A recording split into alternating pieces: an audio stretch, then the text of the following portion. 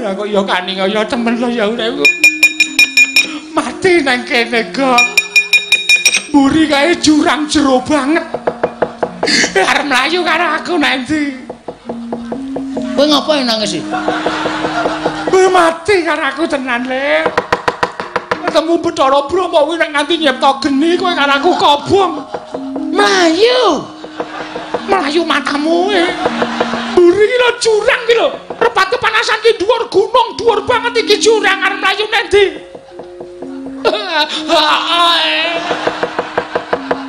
Ini gue yo nangis.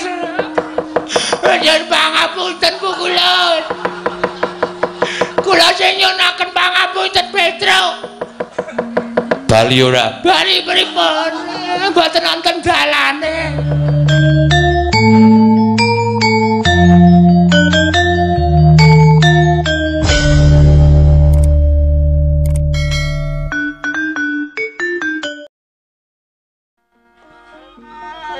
Ning pasewakan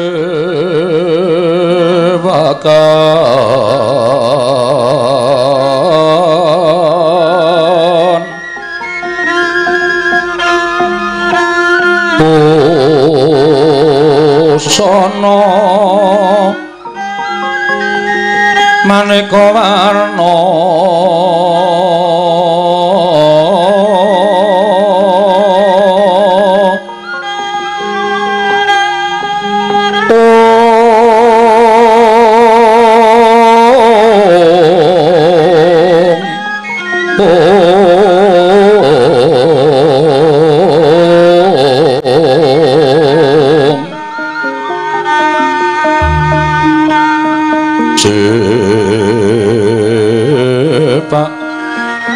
puspiteng putyana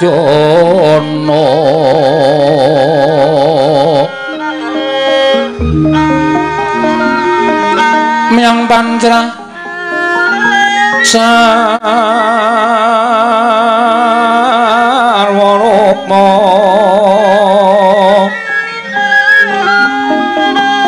ranggeng manik nara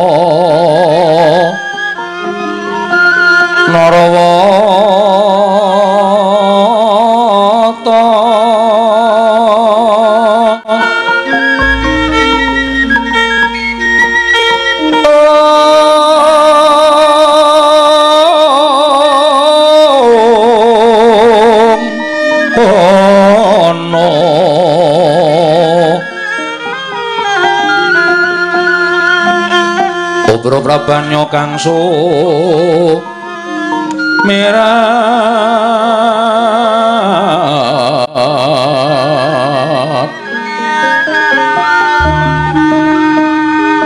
kenyaring tejo leliwaran.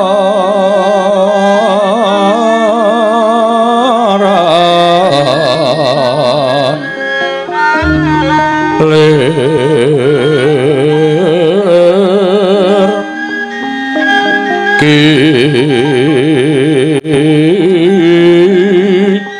laci siring tadit.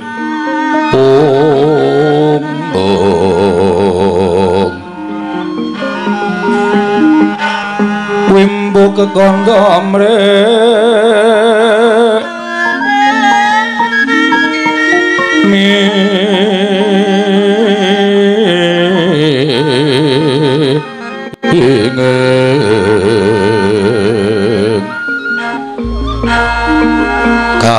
kati upin maruta mandu Oh.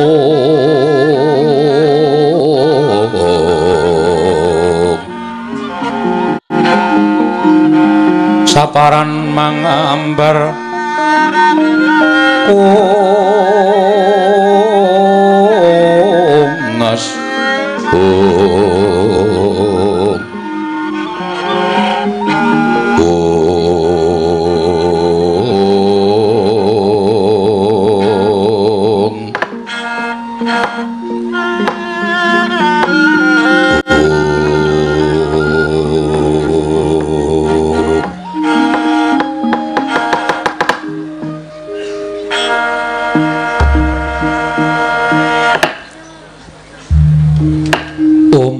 Mastu Nomo Sidam sekaring Bauno Langgeng. Kakang Narado Kakang Resi Kaniko Putra sawetawis ndika Kakang lenggah madyaning Bali Marti Kunda Manik. Rayi Para ing Suralaya ngaturaken pasegan Panakrami kunjuk sandhapada paduka Kakang Resi. Kakang Resi Narado Kakang Kaniko Putra Kencang warudaya Pak Pak Pong Pak Pak Pong buk boleng kali jedhe sapa sing gawe nangka bosok dikopyok kari betone. Lha niki Di. Sampun kula tampi asung pambagenipun paduka Adi Pramesti Bathara Guru dateng kerapa ing sithik banget dalu-dal. Kula tampi karya bombong raos sing manah. Namung warga ingkang raka ngaturaken pudi astamanipun ingkang raka ing sithik banget dalu-dal kunjuk mersa paduka Adi Pramesti Guru kula non kula non di Adi Bathara Manik Moyo. Sampun kula tampi karya bombong raos sing manah Kakang mboten langkung kaskecak nuanggen jengan dika lenggah. Ah inggih, inggih. Sampun boten kirang prayogi pisuwanipun ingkang ing sithik pangatal-utal. Ri kalenggan sak mangke menika, Di. Indra Bathara Indra prayoga nunggone ngadhep ning ngarsaning mulun Bathara Indra. Oh nun nun iki. Pukulun seremban kula, pengayoman kula wonten ing madya padha prapting delahan. Wanter sabda paduka menji dhateng pisuwanipun ingkang putra pun Bathara Indra. Delanan sak sampunipun kepareng kula ngaturaken sembah sumangga pangabektinipun ingkang putra pun Suropati kunjuk mersa paduka wangadi pukulun sesembahan kula. Pukulun pengayoman kula. Pukulun Bathara Manik Maya. Iya ya Bathara Indra Luntampa. Akarya bombong tias ulun ora liwat pangestu ulun tampanana. Kula pundhingga jimat paripin dayana ing kasantosan. Prayoga nunggone ngadhep Bathara Indra. Sampun boten kirang prayogi wiswanipun ingkang putra pun Bathara Indra iwang adi pukulun. Apa dene sira Yama Dipati prayoga nunggone ro ngadhep ana ing Bali Marti Kunda manik dina samengko iki Yama Dipati. Iya pukulun. sampun boten kirang prayogi pisawanipun ingkang putra pun Yama Dipati namung derenan sak sampunipun kebareng kula ngaturaken sembah sumenging pangabekti kula kunjuk sandhap peputu paduka ewang adi pukulun iya iya. Yama Dipati ulun tampa akarya bombong tias ulun ora liwat pangestu ulun tampanana Yama Dipati. Kula bendingga jimat paripin dayanana ing kasantosan. Prayoga nggone ngadhep ngarsa ulun. Sampun boten kirang prayogi wang adi pukulun penyarian. Prayoga nggih ngadhep ngarsa ulun nggih penyarian. Kawula nok nok nuni nggih rama pukulun. Sampun boten kirang prayogi wiswanipun ingkang putra ing penyarian namung kepareng kula ngaturaken sembah? Sumangga ping pangabekti kula kunjuk sandhap padha paduka rama pukulun ulun tompak karya bombong tias ulun penyarian. Ora liwat prayoga nggih ngadhep nuni nggih sampun boten kirang prayogi. Pisawanipun ingkang putra pun penyarian iwang adi pukulun Kakang Narado Kakang Resi Kanika Putra. Mestinipun adamel kaget sotaning penggali paduka Kakang Resi. Krana riki lenggan menika Kakang Resi ulun timbali ngabiyantara wonten ing Bali Marti Kunda Manik. Monggo menika sanes dinten pepanggihanipun para Jawata wonten ing Bali Marti Kunda Manik ewa semanten. Jengan ndika Kakang kula daya ngirawuh wonten ing Kayiwangan Kakang Narada sepinten kalepatanipun ingkang rayi tadah wadana dene kula wantun hamboyongi dhateng rawuh ndika Kakang Resi Narada ing Sidhi Pangudaludal Kakang Resi Kanika Putra. Ah, dalah. Di. Menika sampun dados kewajibanipun ingkang raka Sidhi Pangudaludal. Jernyatanipun kula menika ngiyup sandhap padha paduka Adi Pramesti Bathara Guru. Mila menawi katimbalan sampun ngantos ing wanci rina nadyaning wanci ratri kula mboten badhe swala. Tetep badhe mastuti dawuh pangandika paduka Adi Pramesti Bathara Guru. Namung kemawon ngandhatosaken kejot raos sing manahipun ingkang raka ing sidhe pangudal-udal. Teka dinten menika paduka ngawontenaken pepanggihanipun para Jawata. Menawi kepareng kawedharing kathah mengku suraos kados pundi tuwin wonten wigatos menapa? Nanging menawi adi tumraping para Jawata para putra, monggo di kula dherekaken manjing sak lebet-beting kayiwangan. Pepanggihan catur netra ingkang raka ing sidhe pangudal-udal. Nanging menawi kepareng kababaring kathah, kepareng ingkang raka ing sidhe pangudal-udal nganglongaken jangga nilingaken karna mastuti sabda pangandika paduka Adi Pramesti Bathara Guru Adi Pramesti Kakang Rada punapi ndadosaken kejut raos sing manahipun ingkang rayi. Kana sampun pinten-pinten warsa miwah pinten-pinten wulan laminipun kayiman katingal tentrem jinem. Miwah para kawula ugi katingal ayem tentrem ingkang sami mapan wonten ing jana loka. Ha inggih. Nanging boten kados pinten-pinten dinten menika pangraos kula boten ngraosaken jenak tuwin kepenak. Dangu sangsaning dangu wonten hawa panas ingkang sunduling ngawiyat menika saking dayanipun menapa Kakang Rado menawi keparang ngamba barana ingkang raying Suralaya Kakang Resi alah dalah nuwun sewu nuwun sewu pandangan ngaten menika tumraping ngraka menika mujudaken setunggiling panodi menapa lahir batos mujudaken satunggiling pandangan. Liripun kados pundi Kakang paring dawuh mekaten? Ah nggih, mergi. Adi Pramesti Bathara Guru menika dados dewaning para dewa. Ingkang mangreh jagat raya menika paduka Adi Pramesti Bathara Guru. Sampun ngantos kok namung mobamu sing para titan nadyan kutu-kutu wal ngatoga kemawon jinaring wonten ing pangawas paduka. Nanging sabab menapa namung babakan perkawis gara-gara ingkang boten damel jenjem tuwin konjem penggali paduka, teka paduka miji dateng ingkang raka sithik pangudal-udal. Ah, menika naminipun nguyai seganten. Paduka sampun mriksa nanging badhe nyobi dateng raka sithik pangudal-udal. Mboten Kakang. Ngibaratipun kula ingkang damel cangkriman mboten wonten jamak limrahipun. Kula ingkang anyangkrim utawi ambatang cangkriman menika mila Kakang kedah paring dawuh angka kalih Kakang menika dados kami tuwaning kayuwangan. Nadyan kula menika dados nalindraning kayuwangan nanging boten kenging nilar dhateng kami tuwaning kayuwangan. Dosa menapa ing badhe kula sandang menawi kula wantun nilar dhateng pangawas paduka Kakang Resi Narado. Kakang Resi Kanika Putra. Ah, dalah iki, iki. Menawi kanthi dasar papadan kados mekaten, kula badhe munjuk atur. Bloko suta blaku tang terus terang boten badhe kula tutup-tutupi. Menawi Adi Pramesti Bathara Guru paring pangandikan kados mekaten estunipun ugi cocok kalian rantamaning manahipun ingkang raka isi banget daludal sawetawis dinten menika kula ugi ngraosaken boten wonten raos ingkang sekeca. Tuwin dangu sangsaning dangu.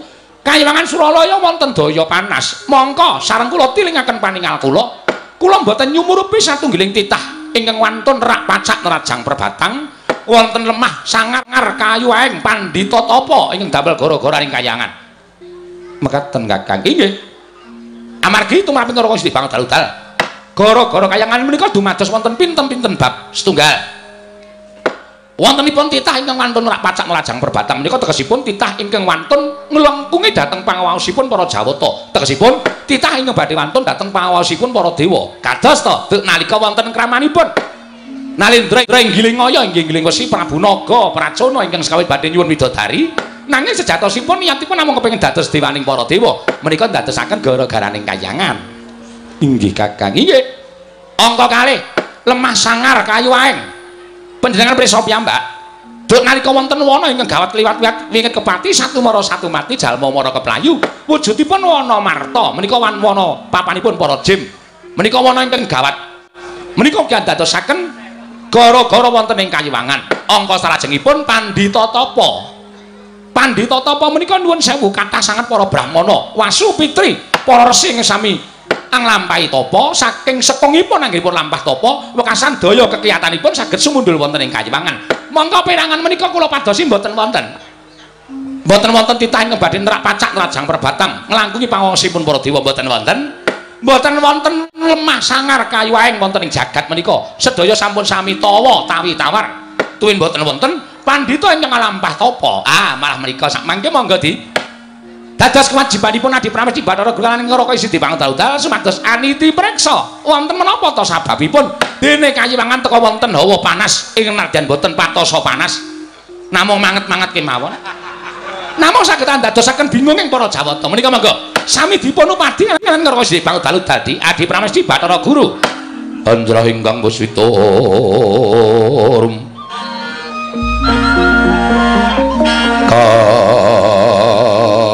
sliring samirana mrih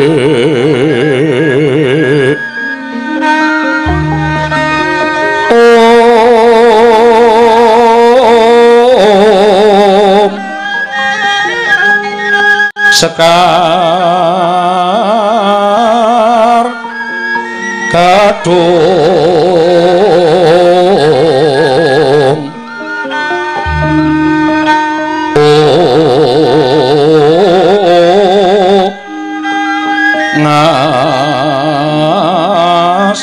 gandanyo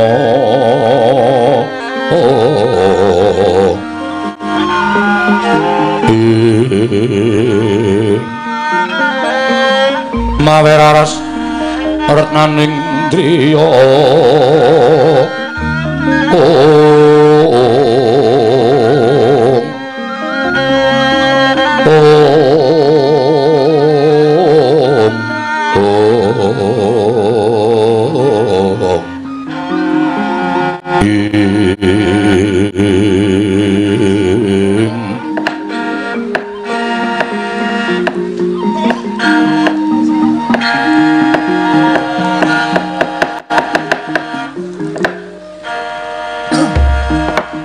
Kakang Narado. Menawi? Menawi andika Kakang paring dawuh ing mekaten ing ngrayi ing Suralaya Nadya Anglejah duwe anggelar dhateng kamontenanipun jagat. Ah nggih, menika langkung prayogi. Jer wonten ing jagat menika namung werni kalih, wonten padang, wonten peteng, wonten rina kelawan ratri, miwah wonten ala kalian becik. Nggih. Kula ugi pitados. Wonten salah beting gesang wonten ing Janalaka menika namung kaparingan kalih Inggih menika padang peteng bunga susah, bejo cilaka, ala-ala becik lan awan bengi kasinggihan mekaten. Monggo peranganipun jagat menika rikelenggan sak mangke ingkang nembe dados lakon. Inggih menika mboten sanes kejawi namung putulun para Pandhawa. Miwah putu-putulun para Kurawa. Ingkang benjang badhe nglampahi perang ageng inggih menika winastan Barata Yudha Jaya binangun. Pandhawa mapan wonten ing kabecikan, mondene Kurawa mapan wonten ing angkara murka. Menika sampun kinudrat dhateng panguwasipun para Jawata. Namung semantena kula glejah gesangipun para Pandhawa. Mboten wonten peranganipun Pandhawa gangsal cacahipun ingkang ngalampah tapa. Sadaya tetep dhateng kewajibanipun mangreh dhateng sagung kawula dasih negari Ngamarta. Semanten ugi peranganipun para Sata Kurawa. Mboten wonten ingkang wantun singlar saking kewajibanipun nadyan Kurawa tansah damel gegering jagat parandene sak mangke saged sirep saking para Pandhawa Kakang. Ah nggih, nggih.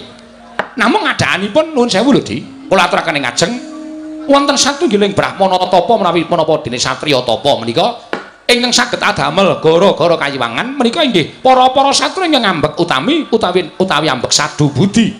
Tegesipun para satru ingkang tansah teken ati suci pepayung. Budi rahayu amargi. Kekiyatanipun tiang sae menika nuwun sewu saged sumundul wonten ing kayiwangan parandene kekiyatanipun ingkang tiang ingkang tumindak angkara murka menika senadyan sundul langit menika mboten saged ngasuraken dhateng perbawanipun. Tiang ingkang tumindak sae. Mekaten kakang ha nggih. Mila menawi panjenengan adik guru glejah babakan kawontenanipun para sata kurawa menika tangeh lamun tangeh lamun peranganipun Kurawa wonten ingkang saged adamel gara-garaning kayiwangan.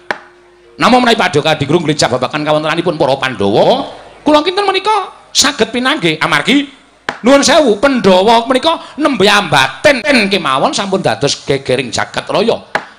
Nembe dipun batos dening para Pandhawa nggadahi krekat karekat tuwin karep kados menapa kemawon. Pandhawa menika nembe batin kemawon kayangan menika sampun poyang payingan boten kanten-kantenan. Lho menika lho dayanipun tiyang sae menika ngaten menika. Inggih Kakang Trada. Dayanipun tiyang ing tansah ateten ati suci pepayung budi rahayu tumindakipun boten nate melenceng saking tumindak ingkang sae mboten nate menggok saking tumindak ingkang bener lan utama. Menika nadyan nembe batos kemawon sampun dados horking jagat utaminipun kanciwangan. Nah, mila menawi paduka di guru badhe nglejah kawontenanipun para titah ingkang damel gara-gara wonten ing kayiwangan menika sampun ngantos dipun glejah batosipun para sata Kurawa Duryudana lan sak kadang-kadang tuwen serati seratinipun Narendra Ngastina. Nanging langkung prayogi dipun gereja Pandhawa. Upami Pandhawa menika mangke mboten pinanggih. La inggih serati seratinipun Pandhawa menika nggadahi niat menapa? Serati seratinipun Pandhawa menika sinten? Setunggal Nata Ndarawati menika dadi suwing para kadang wayah paduka Pandhawa. Angka kalih ingkang raka piyambak. Sinten Kakang? Lho kok sinten pripun niki?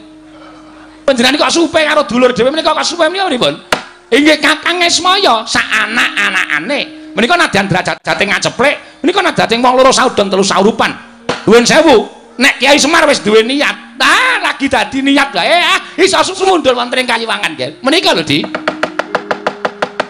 Sigra-sigra yen permana kanca Sigra rakin nawang sesongko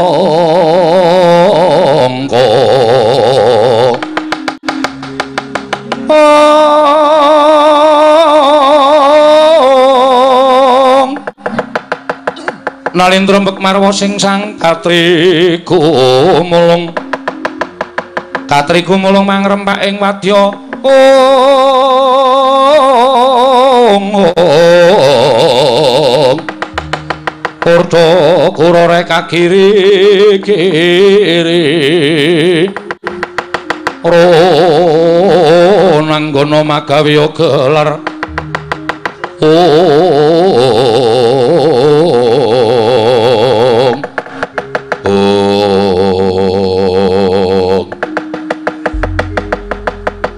Kata-kata bengi-bengi dipun Sang Hyang Pikulun Naroda tinampi ingkang ngrayi nengge Sang Hyang Pikulun Manik Moyo. Sura panjenenganipun Sang Hyang Kanika putra ngantos angebeki madyaning Bali Martya Kundha Manik. Wekasana damel kodeng sutaning penggalih Sang Hyang Manik Moyo ya Sang Hyang Jatimurti. Meger-meger datan mubah datan musik nganti kaya pratima kencana pratima tegese golek kencana Mas. Sumara cahayane nganti kaya golek kencana. Kala gawe kanyut nangka wardu kanyut ujar waganten wardu jar wangeca kinanget durung abang durung manding dasaring pertolo. Kasaru geger njaba piyak ngarsa tangeping mriko sebal bonamu apa to kang dadi darunane? Ora rumacan sukrake gajah medha saka wandilan kejawi namung. Sami alok para Jawata yen tono titah pujang karo ingkang minggah dat madaning Bali Marti Kundha manik. Akayo geger sanggaring para Jawata widodara widodari.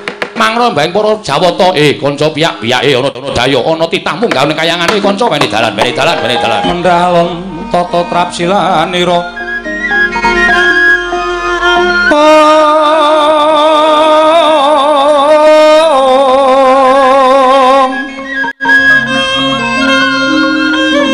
Ngacomaken astanira kalih astanira kalih pisan. Yen ngandika magawe obranta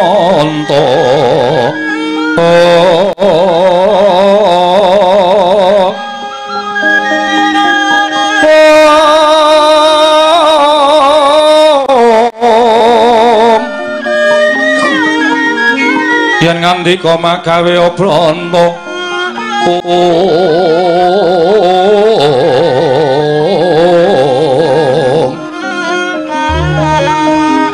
Om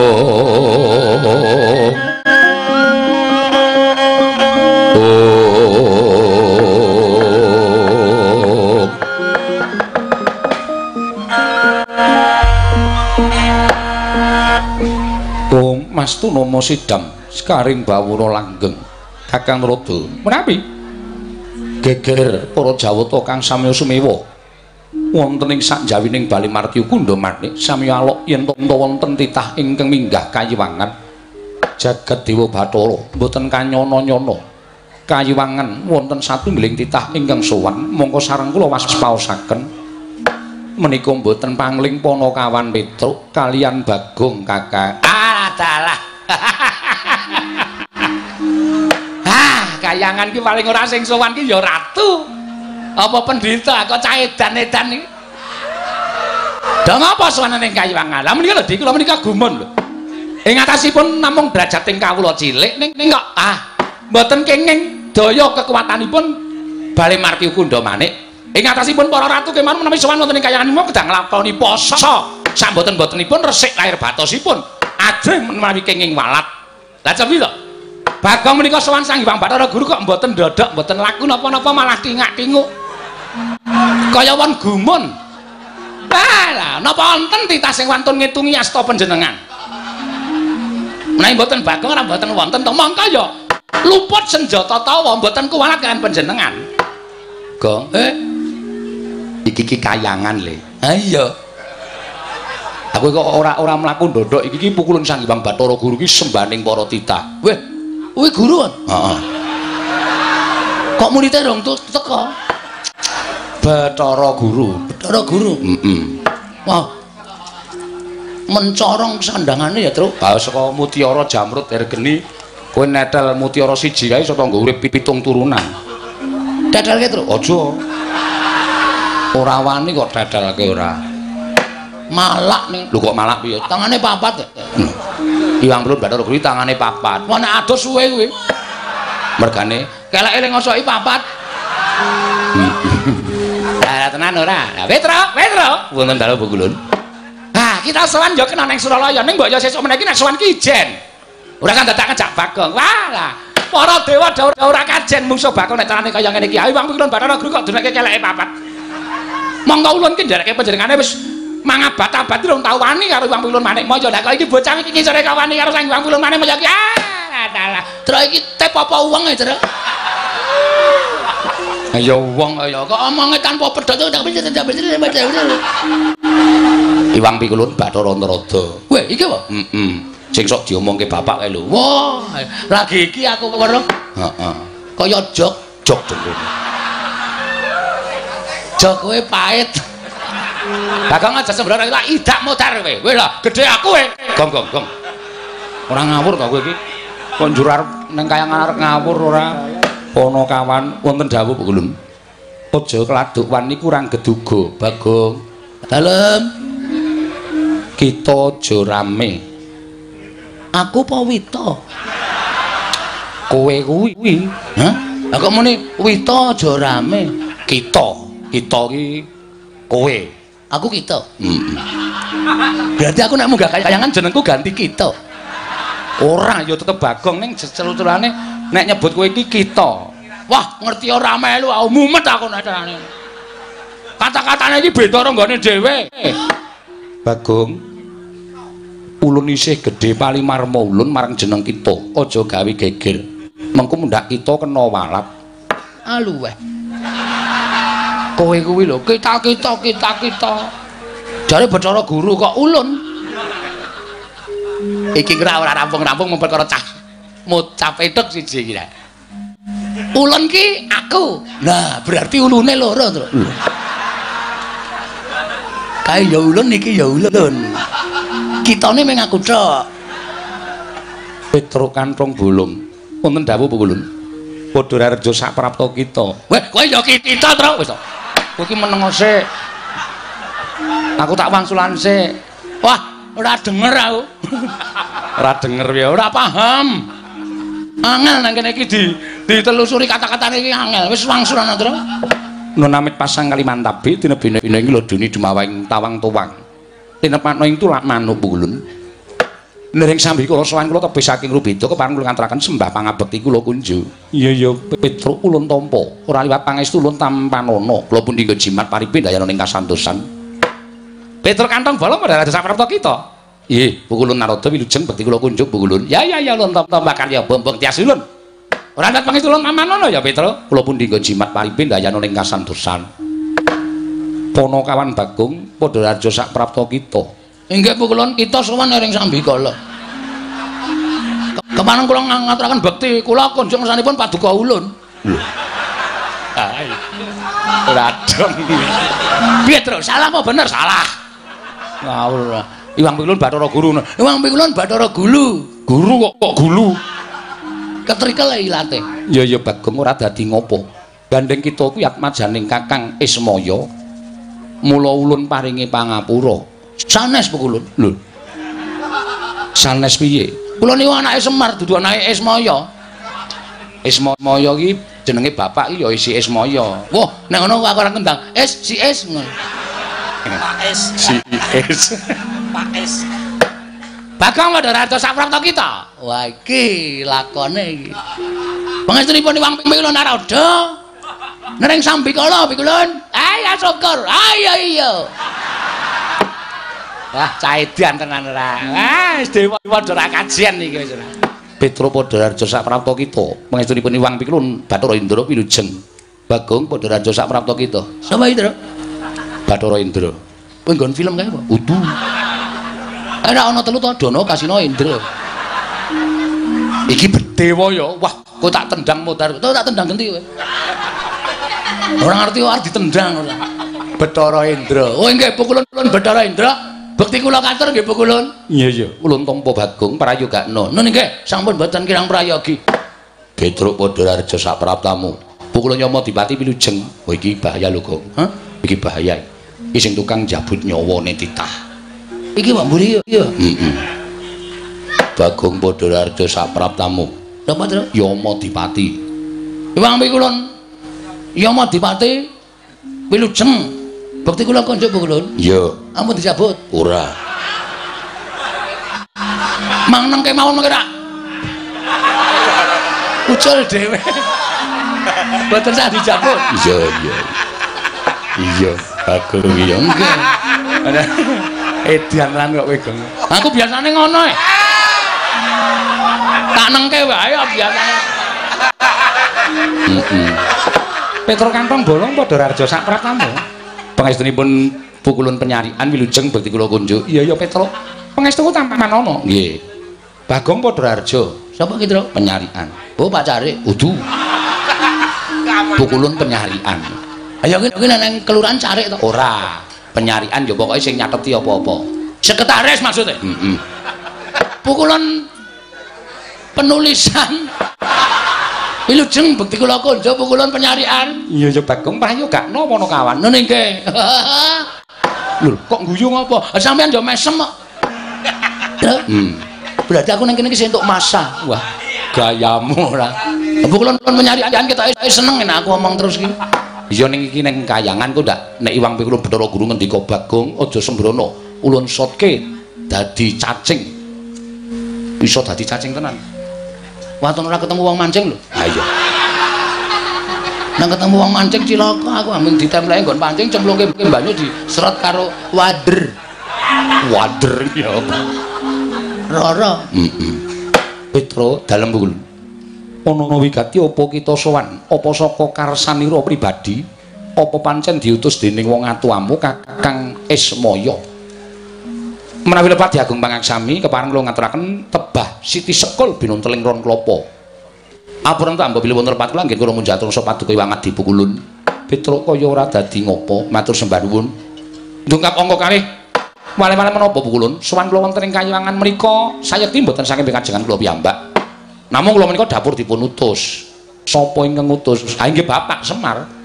Inggih, Bapak Semar nggih Kiai Nayantaka. Ya Sang Hyang Ismaya. Lho sewu malah sakmangke kula badhe nanjihaken.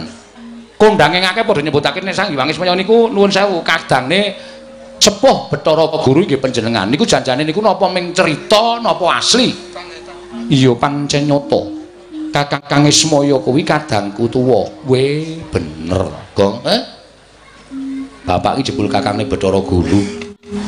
Ah ngopo bapak dadi kere ning jagat ki? Ah ngerti dadi dewa. Malah mulya dhewe ya ora kedungsang-dungsang uripe. Kakane Bathara Guru kok ngere neng Karang Kadempel. Mangan intip kaya banyu. Dikopyok neng weteng. Arene ra ya mamane paling ora roti ya jane. Hmm. Ning bapak ki wis seneng ngono kae kok. Wah, Semar ki pancen aneh. Lah nggih, naik ngaten kula ngaturaken panuwun. Lah, dene wigatosipun Bu Kulun. Mboten sanes estunipun bapak menika bingung. Bingung perkara apa? Bapak niku janjane mung kepengin duwe kajat nggih menika bangun desa. Semar menika pengen bangun desa. Wah, lakone Semar bangun desa iki. Wis dibedhek ora, aku iki senengane mbedheki ngono kuwi kok, Gong. Soale wis saking kerepe. Iki nek aku ora gawe sanggit liya.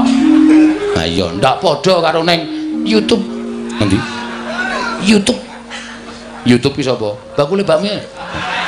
YouTube ki teknologi kok. Kene ra ono YouTube ora. Heeh, lajeng Lho kok lajeng kowe iki ngopo? Sing ngendi kok ngono kok? Iya iya. salahe do ora omong. Aku omong dhewe. Sak banjure piye? Bapak bangun desa menika kok mboten bangun perkara papan sing magrong-magrong, papan sing becik, sing apik, utawa bapak niku pengen bangun omah sing wah luar biasa menika mboten. Ning kersanipun bapak menika mbangun lahir lan batin, ya lahir ya batin. Panggesanganipun para kawula uripe para apa jenenge masyarakat Karang Pradisan menika supaya mundhak ya bab ketukulane ya bab ayem tentreme ya bab gone gotong royong menika supaya sengkut gumregut mula bapak kepengin bangun desa sumados mujudake desa ingkang sae inggih menika desa Karang Kadempel inggih samukawisipun ya bab menapa kemawon mergi sakmangke menika nadyan sampun sae ning ibarate aja kok banjur marem mergo kahanan sing wis ana ning luwih becik ditingkatake lan diundhakake supaya luwih monjo lan luwih kabiyawara. Iya Petruk. Nggih. Cobi to. Nek teng pundi-pundi bedaning panembah, bedaning kapitadosan, menika dados sarana cecungkran. Ning nek teng Karang Kadempel mboten, Karang Kadempel menika bedaning panembah, menika mujudaken setunggiling kerukunan antawisipun setunggalan setunggalipun. Sing siji ngurmati panembahing sing siji, sing siji ngurmati panembahing sing siji. Mula Karang Kadempel niku arang gontok-gontokan, arang padha regejegan. Anane ming sayuk rukun marsinamatan daya dinayan tunggal cipta rasa karsa lan karyane mujudake setunggiling desa ingkang kaloka tinimbang desa liyane. Lah terus niate Semar napa? Tentrem ayeming Karang Kadempel menika aja kok ming tekan Karang Kadempel tok. Sing jeneng napa-napa niku isone gedhe niku apike saka cilik. Mengke nek ujug-ujug gedhe niku terus jeblok. Ngoten. Iya, Petruk. Nggih. Mula saka cilik sing jeneng arep tekan dhuwur niku ya alon-alon le munggah aja terus mencolot mengko nek kepleset dak malah gegeblak malah ora apik lah niki gandeng karang kadempel niku wis apik digawe apik meneh. Supaya desa kiwa nang tengening karang kadempel niku padha kepingin tentrem kaya karang kadempel terus tiru-tiru. Supaya kiwa tengening karang pradesan karang kadempel menika padha kepingin tentrem kaya karang kadempel terus melok-melok sing dikersake bapakne Semar. Ngono Petruk. Nggih. Lah ning bareng wonten niku kula sarujuk kula matuk kula cocok. Ning kok terus Semar kendel mawon. Bapak niku meneng mawon. Terus kula jawil, jane apa, Pak? Ana bab sing abot apa piye? Nek perkara Prabeya ya perkara Brana Picis dibutuhake, mengko aku tak matur ndoro-ndoro Pandhawa mergo bapak iki dadi pengayomaning pening Pandhawa, bapak iki dadi ponokawaning Pandhawa. Nek ora duwe ya nyuwun karo para Pandhawa. Eh ora, Petruk, aku ora duwe niat bangun perkara iki utawa bangun Karang Kadempel iki nganggo srana Prabeya ora. ning kabeh masyarakat arep tak caketi atine. Ayo to didudah rasane tresna karo bumi kelahirane, tresna karo bumi wutah gedhe ya kuwi Karang Kadempel. Dadi ora usah nganggo Prabeya. Bangun desa nganggo Prabeya niku nenteke dhuwit. Mengko bangun bangun tanggul terus di napa diborongke. Lah niku tegese nenteke dhuwit. Ning masyarakate supaya sayuk, sayek, saiko kapti, tetunggalan manunggal. Ayo to iki apik dienggo dhewe, iki iki becik awak dhewe sing ngrasake. Mula ayo bareng-bareng padha dibangun. Ha ngoten niku arepe bapak. Iya Petruk kuwi becik banget nggih. Ning kok bapak niku paring pangandikan? Bapakmu paring pangandikan piye? Srana iki bisa lancar, srana iki bisa rancak. Kabeh para kawula sakarang kadempel bisa ngrasakake ayom ayem tentrem. waton syarat seranane kaya sing nalika aku ngimpi kelakon truk bapakmu ngimpi apa bapak niku ngimpi metik sekar jambu dipo nirmala kalih pelem pertangga jiwa niku sing abot-abot teng niku niku bapak niku ngasta kondur wujudipun sekar jambu dipo nirmala kalih sekar pelem pertangga jiwa mongko jambu dipa nirmala pelem pertangga jiwa niku thukule ming neng kayangan. Lah terus kula cancut, saiki gareng piye sing tuwa? Sagu munggah kayangan ora? Gareng sambat nek awake lara kabeh. Nek kon munggah kayangan mboten iso mergo kayangan niku munggah gunung himawat sing dhuwure ora karo-karuan. Dalane menggak-menggok lan sak piturute. Iya, nggih. Lah terus gandeng gareng ora gelem kula saguh. Endi dilalah kok Bagong ya saguh. Ha itu, Kang? Heeh. arep kula karo Bagong Walu tekan mriki ora bareng. Kowe metu ngendi to, Gong? Serungga. Oh. Kowe metu parang tritis mesti ngono ta? Heeh.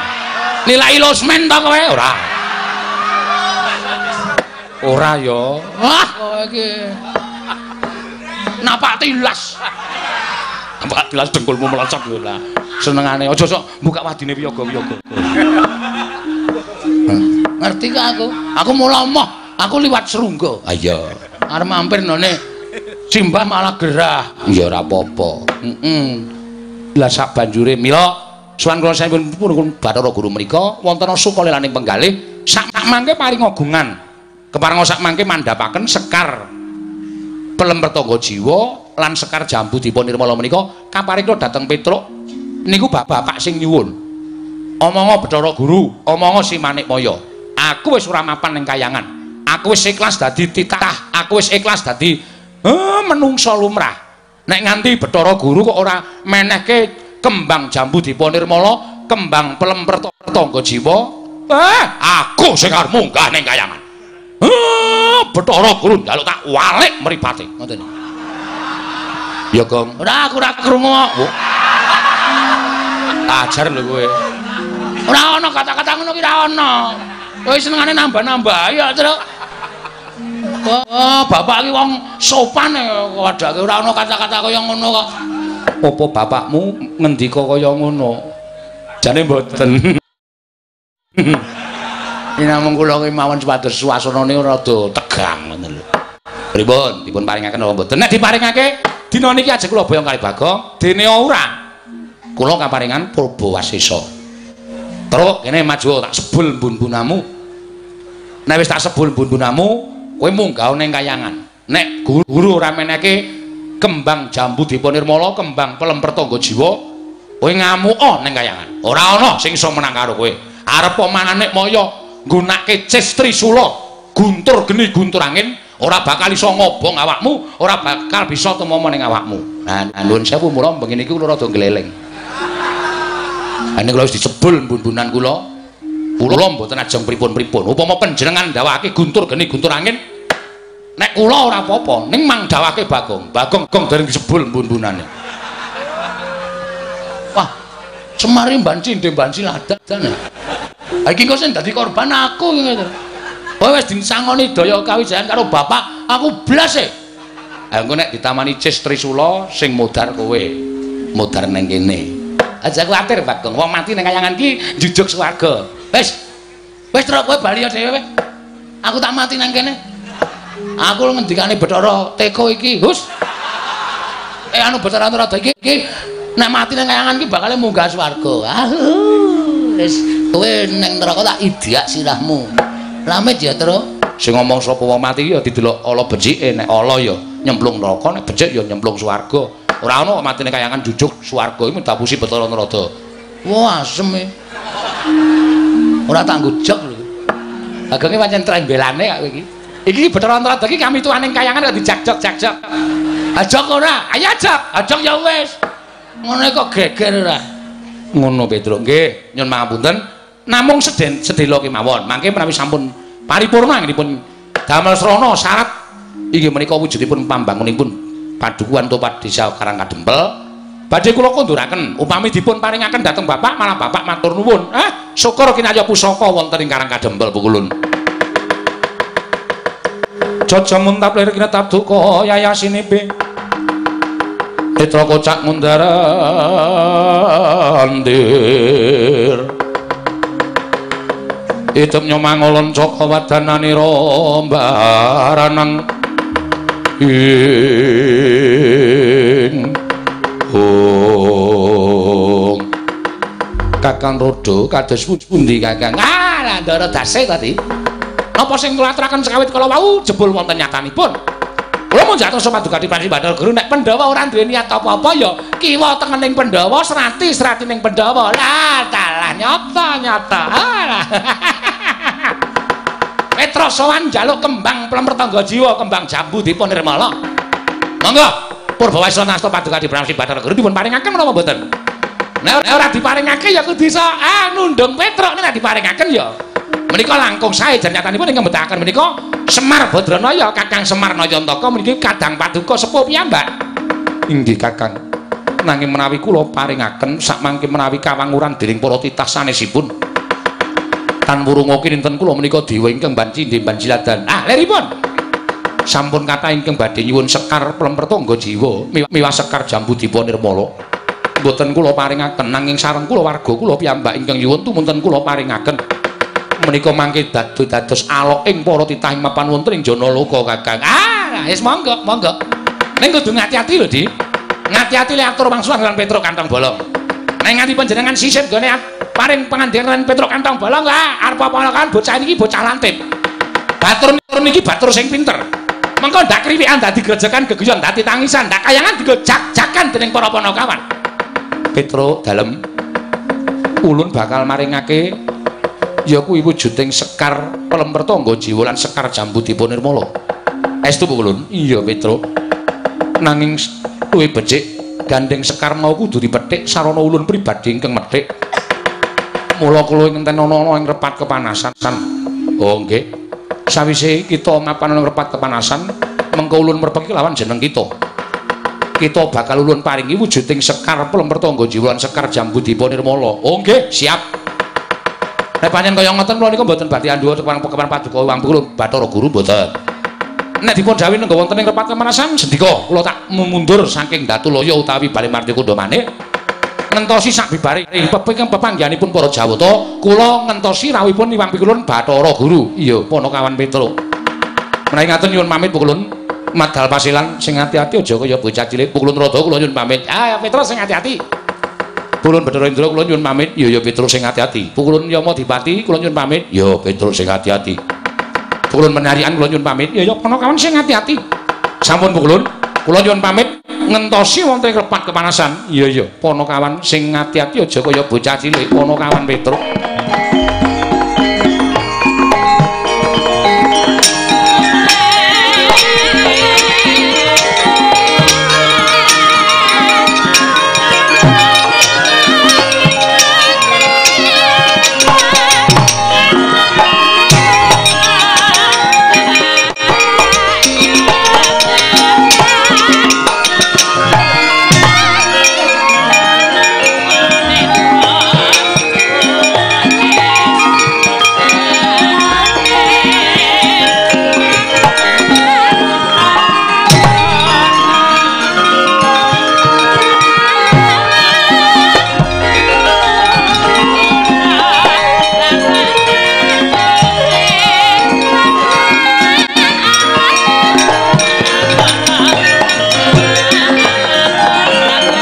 Panlita kang nyara wangsit pindha kombang.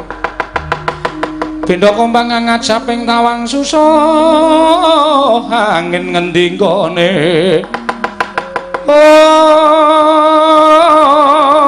oh susah angin ngendi gone oh kakang trodo punapi Petruk sampun kersa mundur. Lah menika kok kadangipun Petruk Bagong tasih mogok-mogok wonten ing mriki. Kowe lah dalah iki bocah iki arep ngapa ya? Bagong kita ki Petruk ki wis metu nang tempat kemanasan kok kowe kita durung metu ki piye? Metu kok dipeksa. Lire piye kita ora gelem metu? Ra ati kula kok ora kepenak ya? Ora kepenak perkara apa Bagong? Nek Petruk mboten pantosa nggadaken pengendikanipun Iwang Pikulun Rada, ning nek kula kok setiap omongane piyai niku tak petung, tak glejak. Tak goleki iki lereke kata-katane iki nanti. Mengkono, nggih.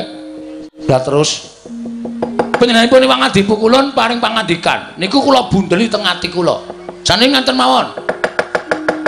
Luwih becik jujur. Mbangane sampeyan tumindak sing ora jujur mengke gawe gelo atine Petruk. Gawe gelo ati kula. Mengke kayangan rusak mergo saka pakartine Petruk awulung sampeyan jujur. Pangandikaku sing piye Bagong akeh wong sing kepengin njaluk kembang jambu dipa nirmala kembang pelem pertangga jiwa. Boya ulun paringake. Yen nganti ulun maringake kelawan Semar ateges padha ngarani yen to kula warga diwenehi ngampil nek wong liya ora diwenehi ngampil mengko dikira mban cinde mban siladan. Ayo ada nggih mboten? Iya bako nah dengan melihat kata-kata itu. Bocah iki omongane kok tekan kaya ngono ki piye ra? Kanthi niti preksa kalimat kaya ngoten niku kula nggadahi pemanggih lan kula saged menggaris ngandhapi. Ora kowe menggaris man ngandhapi ki apa? Menggaris bawahi kalimat panjenengan ateges panjenengan boten ajeng maringake wujuding kembang pelem petangga jiwa kalian kembang jabun dipun nirmala nggih napa mboten Kakang Rodo kados pundi? Alah dalah konangan karo wah genjik siji iki. Wah dalah Petro ora iso ora iso gagapi menjane adi guru lah kok malah Bagong sing iso nyurasa mengene adi peran manik ya dheweke ora trima lan ora gelem metu nang repat kepanasan. Ah das pundi di. Nggih kula piyambak bingung. Pun sanding ngaten kemawon kalah cacak menang cacak dipun belakaken kalian bagong. Ngaten kakang. Nggih. Monggo kula turi bloko. Kita us. Napa ya jenenge? Uh, Ulun kula aturi bloko kalian kita. Tetep kuwalik, tetep kuwalik. Panjenenganipun pukulun kula aturi kita. Aduh. Kula aturi bloko kalian ulun. Eh sakaremu, sakaremu. Bagong. Nun. Bloko suto blak kotang terus terang. Waduh. Kata-katane kok kaya ngono to? Kata-katane piye? Aku mau bloko suto blak kotang terus terang. Aten eh. Genteong. Bagong wong edan ning kayangan ki ora kena saru. Sing saru ki sapa koteko? Hus. Ora ana wong saru kok. Omong ngiroke blak kotang terus terang kok. Saru ora. Prasaja wae nggih. Yen to Semar bakal nyuwun pelem pertangga jiwa wujuding kembang lan kembang jambu dipun nirmala. Yekti Semar nerak pacak nerak jang perbatang. Lho, sebab apa? Seb aduh. Sebabe sebabe Semar kuwi titah. Semar kuwi titah. Jare Kakang panjenengan, Kang Mas panjenengan, Sang Hyang sapa mau? Ismanto. Ismaya. Heeh, Ismaya. Iya. Lah padha karo Semar niki uripe ning donya, ning jane statuse dheke wong KTP-ne wae kula delok status dewa. Ngoten kok. Niku ateges Semar niku dewa. Sampeyan aja terus beda-bedake Semar karo panjenengan. Dume panjenengan dadi dewa teng Kayangan Suralaya. Dume panjenengan Semar urip ning Ngadipada, terus sampeyan beda-bedake derajate Semar karo sampeyan. Niku jenenge ora kabeh. Mongko sampeyan padha-padha putrane modar aku. Sapa? Eh ora denge kok dadak omongan ora. Ya anake sapa? Ayo anake bapakne. Bapakne sapa? Empuh. Sang Hyang Bathara Tunggal. Nah, Sang Hyang Bathara Tunggal. Sing biyen jare lahir ceprot wujud ndok. Nggih to? Ngerti kayangane tak dadar. Modar kabeh sisa. Pak goreng kei lombok ora ana Bathara Guru. Ora ana Ismaya. Ora ana Teja Mantri. Mlebu nang wetengku kabeh. Wah, cakok nekate kaya ngene lho. Iki nang kayangan kok nekate sak penake dhewe iki piye? Tetep ulun ora bakal maringake. Eh, nek ora gelem maringake, Petra wis diparingi daya kekuatan karo Semar. Rawe, rawe rantas malang, malang mesti bakal tak putuk. Dawe Bapak Bagong, kowe anakku sing tak tresnani. Petra tak wenehi kekuatan. Aku percaya karo omonganmu. Mergo kowe iki tim sukses Semar Badranaya. Mula kowe kudu iso omong ning ngarepe Bathara Guru. nek pancen Bathara Guru menehake sakarmu tawane Purba Wasesa aku kakangne Bathara Guru kowe wenang gawe keker nang kayangan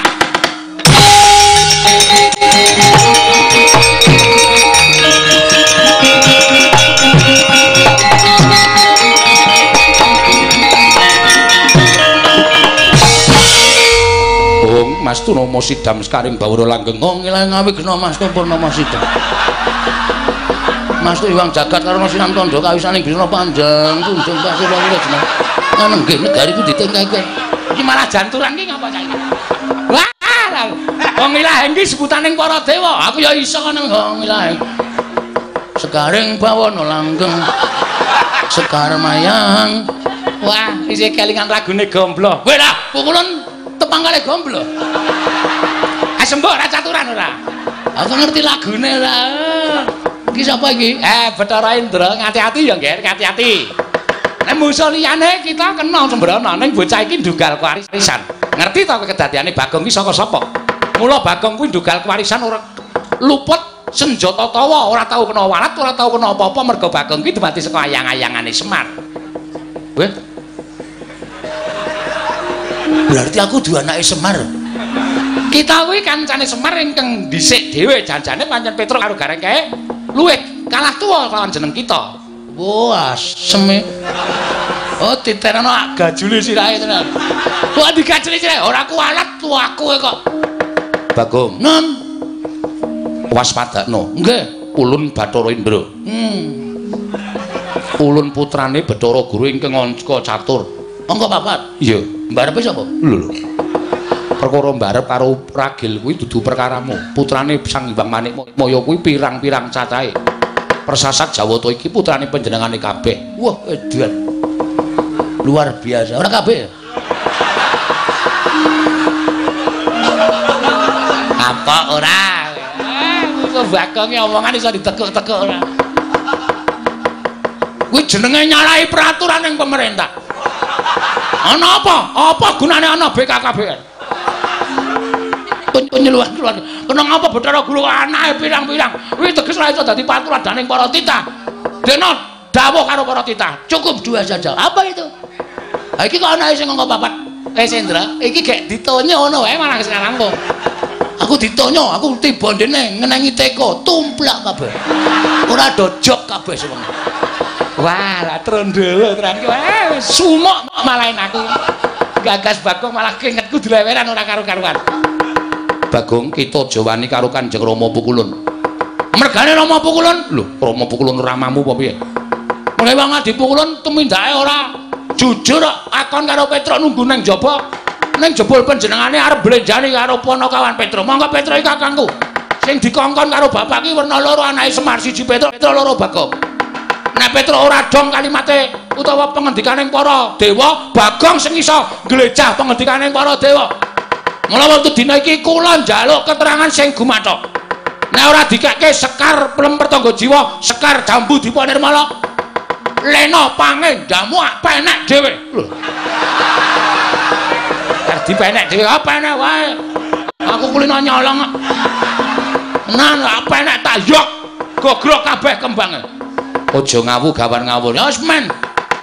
Yen kita wani kan para dewa, tegese kita bakal cepak pati kita Bagong. Pancen kuwi sing tak gayuh.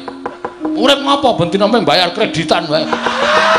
Esuk 2000, awan 2000, sore 2000. Uripku ki wis rekoso. Ciduk wae tak kredit kok. Lah ciduk kok dikredit iki bangetan lho. Ya men sakarepku. Sedeng rusak urung lunas ya wis ngrekoso malah uripe. Kita metu njaba tunggu ning repat kepanasan. Mboten. Kula tetep ajeng nyuwun keterangan. Diparingke napa mboten? Yen diparingke Kayangan ayam ayan trentem. tentrem tentrem. Yen ora diparingke dening Wang Pikulun manik moyo. Kerubutan para dewa. Bocah iki kaya suarane kok ya sawinan. Ayo, sapa kene sing dadi senopati ning para Jawata? Yen perlu ya Allah dipati kon jabut nyawane. Bagong, urung jabut nyawa, teteki untune jabuti untune. Sing kondange Wang Pikulun Bathara Brahma, Brahma, Brahma. Sing iso ngomong apa-apa, apa masa-masa aku ora gawe ember. Bathara Brahma metu guyang legane ati. Mlebes banyune. Ayo sapa meneh sing arep ngrubut karo Bagong? Nek ora tak kaya ngene iki ndak dewa-dewa jauh ora adil. Bangane Semar munggah ning kayangan wong tuwek ketayalan luwung Bagong sing ora truma ning kayangan. Metu njaba ora metu ulun bopong ning njaba. Ayo yo, kowe bopong aku piye kowe?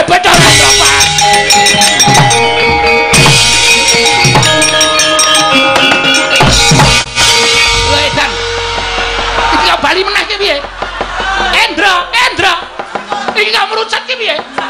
Ngapamu kapan kowe? Ayo, lendange tak kesok. Aku brojol dhewe ayo.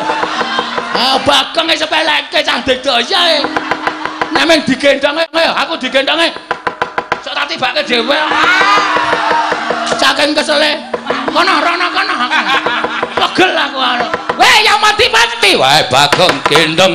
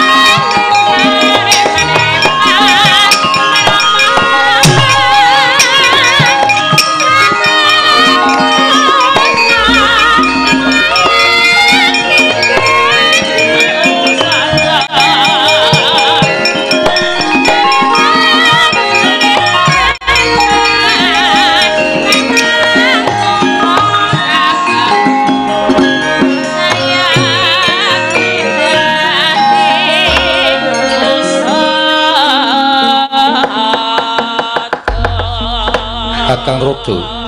Dadi pundi lelampaning kayuwangan? Nah, Di.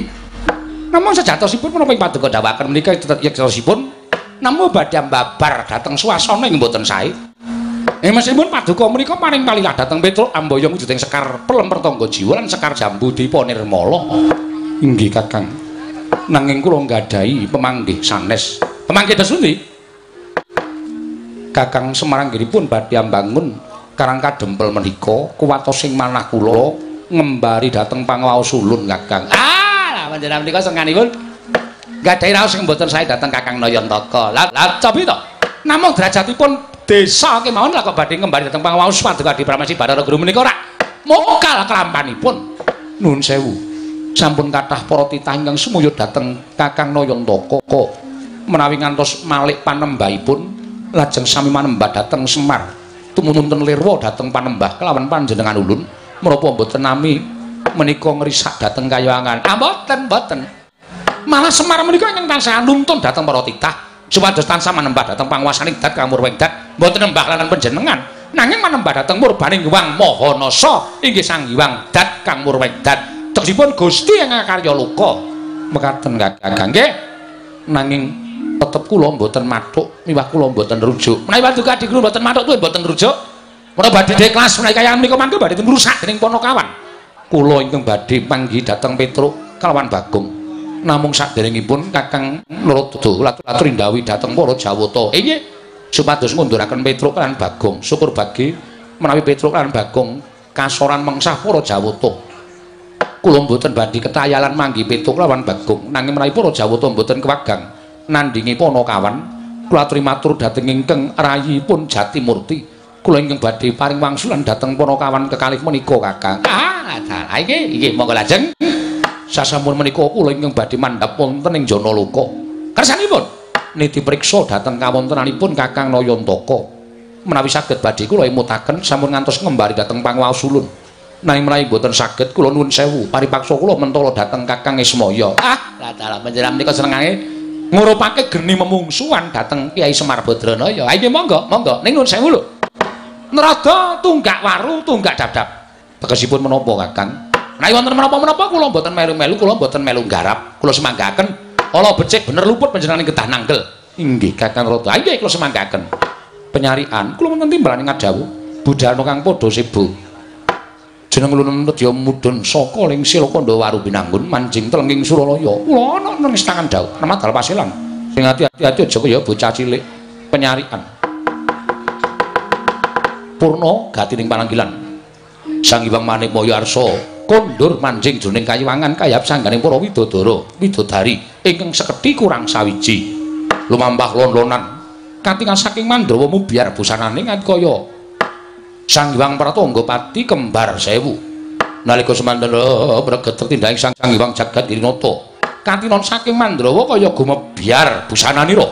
Ing kalbu pambukaning warana tarlen saking liyep layaping aluyup. Pindha pesating sumbana. Sumusuping rasa jati ong ong tan kausa manjemun gubit sanggar sarup Nana gandha sampai mapan repat kepanasan. Iki lho Petruk kantong bolong kuwi ora bagong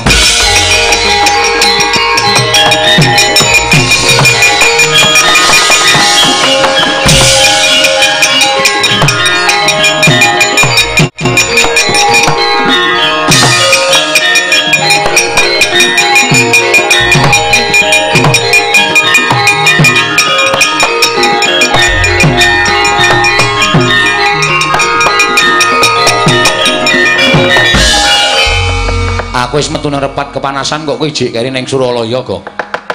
Ngopo e? Tak gawe rame sisan. Lho. Digawe rame sisan piye? Sinuwun jagat Giri Pratingkah kowe ra kelingan to kendikane. Neng nganti kembang pelemper tangga jiwa karo kembang jambu dipa nirmala kuwi diwenehke karo Petruk mengko dianggep prap pukulan Iwang Jagat Girinata kuwi piyai sing ora adil, dewa sing ora adil. Kanthi aku menggaris ngandhapi kata-katane Sinan Prabu anu pukulan Bathara Guru kuwi aku cuk cuk curiga. Apa? Curiga.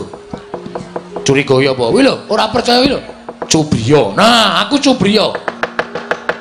Iwang Pikulun Jatimurti, Iwang Pikulun Bathara Guru mesti ora arep meneke kembang sing tok jaluk.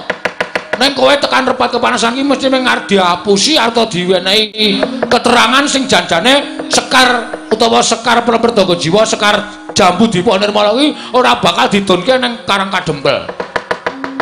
Aku metu nganti digotong karo Yama Dipati ya, Tru. Oh, mosok? Iya. Belang mergo do ketoke do wedi kabeh aku ngamuk ning kayangan. Bathara Guru tak unek-unekke. Lho. Kowe ora disotke. Wes ora mandi. Aku kok disotke. Sing jeneng go nangker tak uyuhe dumite mlayu kok. Apa meneh disotke dewa. Ha terus iki titenono mesti dewa-dewa do tekan kene. Nek dewa tekan kene kowe ngati-ati lho, Tru. Nek kowe kon bali aja gelem, bali kena ning bareng karo Sekar Pertangga Jiwa, Sekar Dipa Nirmala. Ya, manut karo kowe le. Heeh.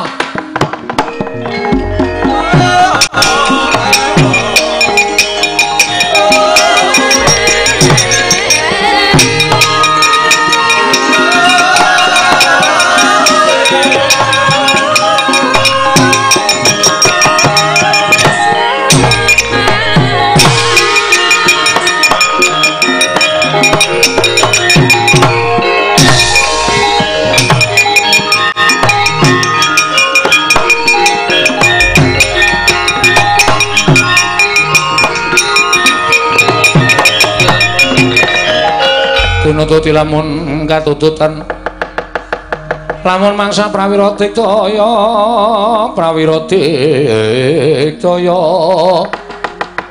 Oh,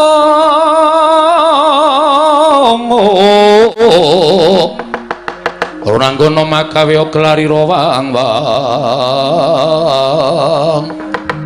Oh. Bener kandamu. Ah, kandhane kok sing iso ngapusi jebul raming menungsa. Dewa ya sok ngapusi. Ha iya. Ngati-ati lho Tru rasa kuwatir aku wis disebul bun-bunanku ping telu karo bapak. Jari bapak aku digdaya tak jajali nek mungsuh dewa iki menang apa kalah? Ngati-ati heeh. Malah kowe wae sing ndelik. Ngapa? Kowe disebul to. Nadyan ora disebul dening bapak. Tak cobane aku nek mungsuh dewa Tru hmm. menang apa kalah kira-kira? Ketoke kalah apa? Aku ora disebul kok. Ora ana masalah. Men kalah ya men. Ya wis diantepi ya ya diantepi. Bekti kula kunjuk pukulun sang Bang Bathara Indra. Ya pitul tak tampa pangestu tampanono nggih sangat anggen kawula dadosaken jimat. Pulun Brahma bekti kula kunjuk. Ya pitul tak tampa pangestu tampanono kula pundi? Sing mburi sapa to Bathara Brahma wah iki sing sing seneng sok ning radio. Lho. Sapa Brahma Kumbara udu. Udu Brahma kae wis kuno banget e kok aja ditok to wis do lali kuwi iki kuwi jaman cilik-cilikanku e Brahma Kumbara kuwi ora heeh ya heeh Pukulan Bathara Indra bekti kula kanca ya Bagong tak tampa kowe mau tak gendong kok merucut? Sampeyan ning gendong meng angas-angas ora serius mula kula ngro kula obah tiba terus mlebu meleh teng Suralaya. Iya nggih terus dibopong karo karo Kakang Pukulun Bathara Yama Dipati. Ah nek nika lho nyikep tenanan nganti rasa ambegan aku. Nganti tekan riki niki Bathara Brahma bukti kula kanca. Ya Bagong tak tampa. Pangestu ulun tampanono. Nun niki sangat anggen kawula dadosaken jimat. Saya ya terus tak golek banyu. Lah ngopo? Kae Brahma kae dewane geni nek ora disiram kok ndak. Ora murup genine ade cilaka. Rasa, rasa. Aku wis bul-bulun aku ping telu. Rasa kuwatir kok. Pigatosipun ngemban dawuh timbalaning Wang Pikulun Jatimurti ya Rama Pukulun Sang Hyang Jagatnata. Petruk dina iki kowe kon bali. Ngandel ora. Terus Sekar Pertangga Jiwa, Sekar Dipanirmala ora bakal diwenehake marang kowe mergo kuwi kembang kayuwangan. Ora sadengah titah iso mboyong wujuding kembang kemapan ana ing kayuwangan. Mangriyen to, bapak niku ya dewa. Ya wong bapak niku wujude titah. Kan? Dadi nek bapak nyuwun Sekar Pertangga Jiwa, Sekar Jambu Dipa Nirmala niku wis sak trepe wong bapak niku ya panjalmaning Jawata. Ngoten. Kok ora dikeparengake? Kok Iwang Pikulun Bathara Guru ngendika nek ora saben titah iso mboyong Sekar Dipa Nirmala lan Pertangga Jiwa. Niku ateges Iwang Pikulun Bathara Guru wis nyebratke bapak minangka dadi ganeping Jawata. Monggo nika titih sang Hyang Bathara Ismaya. Riwon kula nyuwun keterangan. Nek kula entuk keterangan sing gumathok ora apa-apa kula bali. Kula tak matur kersane Bapak. Ning nek mengke Bapak nesu, weh dadi manik moyo wis ora nganggep aku kakangne. Eh Petruk ora usah melu-melu. Huh, aku tak munggah ning kayangan. Sapa sing wani karo Bapak? Ayo. Wangsulan, Ndra. Apa sing domongke Petruk iki betul? Iki mumpung aku karo Petruk isih gedhe palimarmane. Ora ngamuk ning kayangan. Nek nganti aku karo Petruk ngamuk, upama aku kalah, aku medhun ning omah. Ning Karang Kadempel, Pak, aku diajar karo Bathara Indra, karo Bathara Brahma. Nek bapak nesu piye? Eh, blok gegeku gegeku satu lito, lit lit lit. Mel mel mel mel mel mel. Indra karo Brahma kok ngajar anakku tersayang. Pengen ora suwe lek dadi dewa, munggah ning Sulendra Bawana, munggah ning swarga Dahana, ngubal-ubal entut mudhar. Montute bapak iki, wih. Aku wingi ditutuke patang sasi opname. Ya, Tru. Heeh. Ayo sembrono ora. Wose gelem bali apa ora? Nek kula pulun wangsul, ben awamu. Yen mboten pulun wangsul, mapan tak cemplungke kawah condol di muka. Waduh. Gong, eh. Cemplungke kawah condol di muka. Ora apa-apa ndung adus kok awake dhewe. Kawah condol di muka ki apa? Kolam to. Wis. Kawah condol di muka ki geni utawa neraka sing nggo ngukum wong sing tumindak angkara.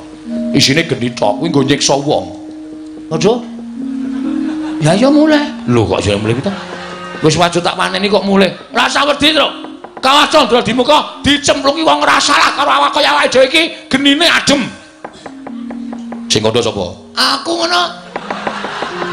Lah nyoto apa ora? Lah mbak aku ngarang kok iki. Kowe ngawur sengane ra.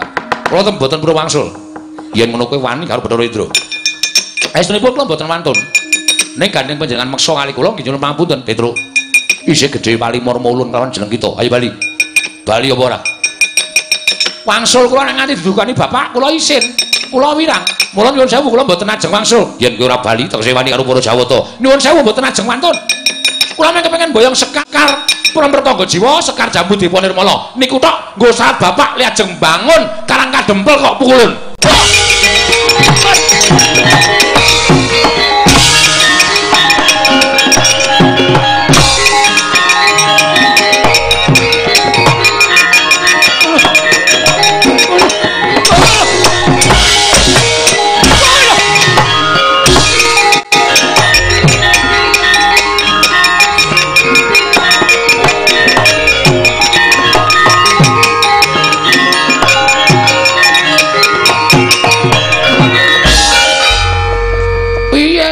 Wis disebul ndase. Oh, Kang. Wah, Semar ki ngapusi. Semar ki biasane iso omong ngono lho. Gedhekke atine anak ning jane ora ana apa-apane. Ah jare wis disebul siramu, kowe iso digdaya ngungkuli dewa. Ah dantem becara kok. Aduh, mati aku. Waduh, gedrapasan aku mati aku. Ah piye kowe? Kok aku sing ngrasake lara e. Wah, wis. Ya mulai ya ajare Semar. Lho. Lah ngopo? Ngapusi kok. Nyatane musuh dewa ya kalah kok. Kok tendangane? Aja kok kae bapak kok. Bapak-bapak piye? Ha terus piye? Njaluk bantuane sapa? Wis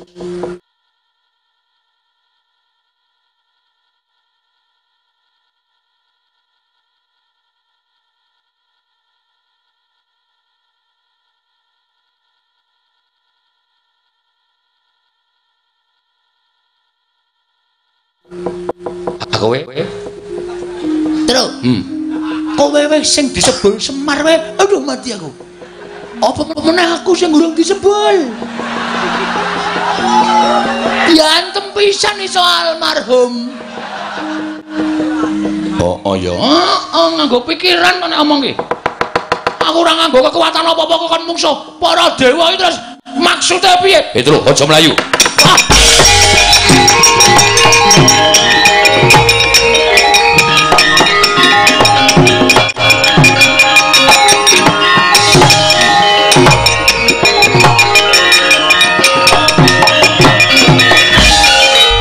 ular melu-melu. Kowe arep ngiwang karo kakangmu, ya. Arep karo kakangmu. Ayo wani karo Bathara Brama. Aku nyipta geni kobong sawakmu mati nang kene kowe. Ayo. Sing apa meneng wae kowe? Trawat tratapan ya, aku padha. Ayo wani kowe yang Yen pancen wani karo Bathara Brama, yen perlu kru buteng wong loro ora bakal tak tinggal loncat. Lah kok ya kani kaya temen lo ya urip. Mati nang kene kok. Buri kae jurang jero banget. Arep mlayu karo aku nanti. Kowe ngapain nangis sih? Kowe mati karo aku tenan, Le. Ketemu Bathara Brahma kuwi nek nganti nyipta geni kowe karo aku kobong. Melayu. Melayu matamu. Buri lho jurang iki lho. Repat kepanasan ki dhuwur gunung, dhuwur banget iki jurang arep mlayu nang ndi?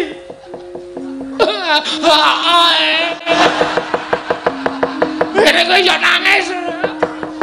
Yen pangapunten Bu Kulon.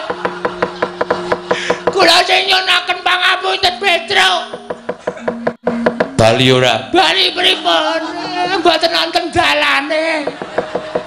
Bali liwat papan to dalan sing bener. Kondo karo bapakmu. Siwa Semar, aja ngarepake sekar jambu dipun ilmu lan peron pertunggu jiwa. Walah. Iki adewe tekan omah isih diunek-unekke bapak. Ya nek mung diunek-unekke.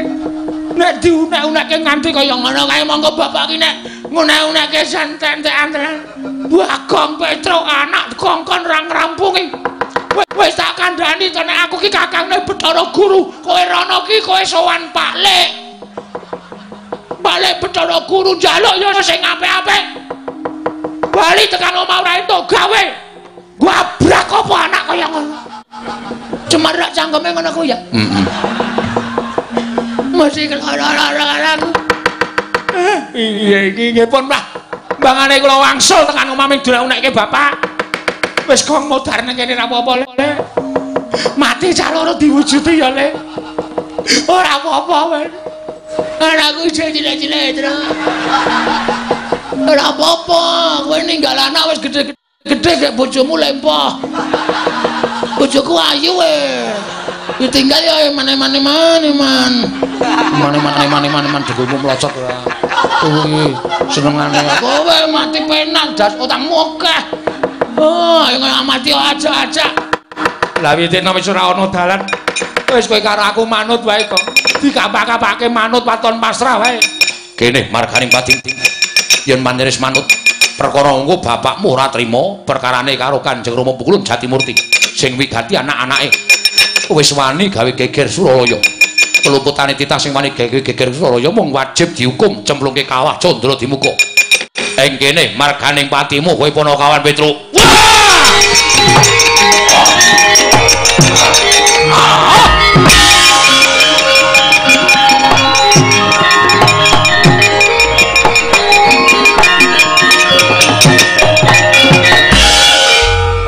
Sopo Gong? Kancamu, Mbok? Kaya kancaku sing parkir nang ngimo giring kae, Tru. Rambutnya ya rewo-rewo ngono kae. Ning kok kok gereng ya, Gong? Hah? Kok gereng ya? Buta kae, Le. Hah? Buta. Hmm. Lho sapa ya, Tru? Mengko pukulan Bathara Kala. Engko nek pukulan Bathara Kala kae mung duwe pamrih kae mesti. Ngewangi kowe engko nek dewane kalah kabeh. Pedro, Bagong, aku luwe. Kowe dadi timbanganku, Modar mati meneh. Piye to iki kok ketoke ra penak terus to, Gong? Kowe iki gawe sanggit piye, Tru? Awake dhewe kok ngrekoso terus ki piye to? Wis dasan dadak. Piye-piye kalah cacak menang cacak buta kae tututi takoni sapa, Gong? Yo!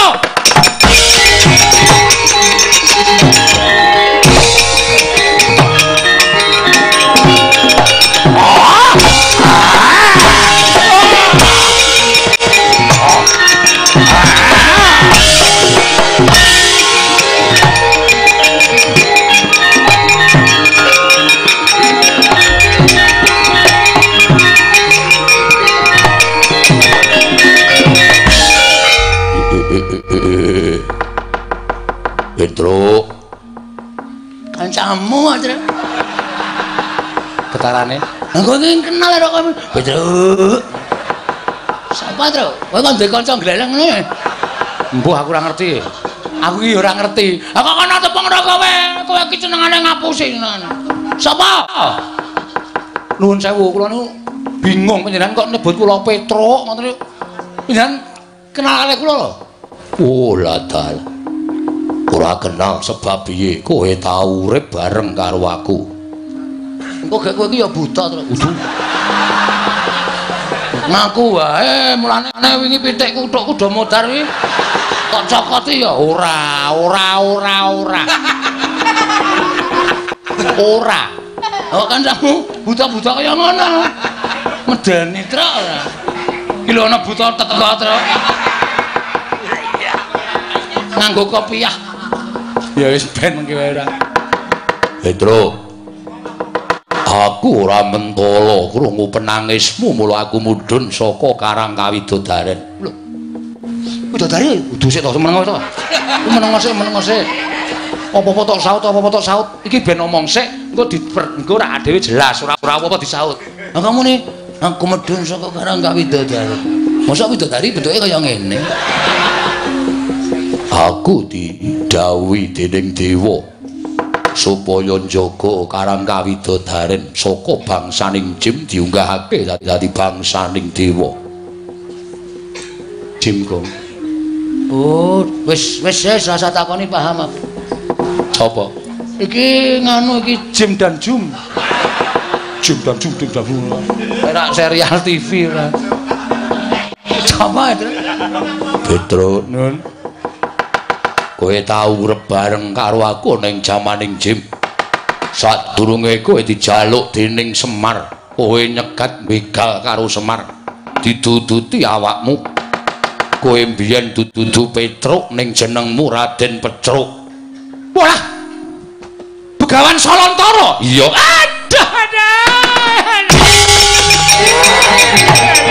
Nuwun, Pak.